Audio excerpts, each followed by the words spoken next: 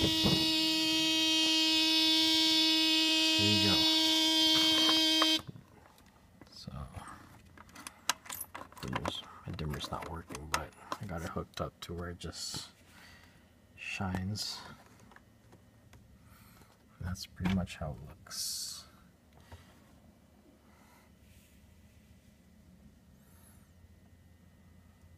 W124 93 300E.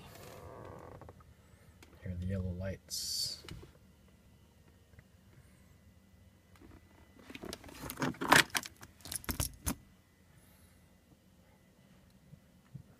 Blue lights. Uh, if it wasn't for Fupa Box, I wouldn't have been able to do this. I wouldn't have been able to tell whether it was uh, that directional thing. So thank you, but this is pretty much how it looks with blue T10 LEDs. Nice on the eyes.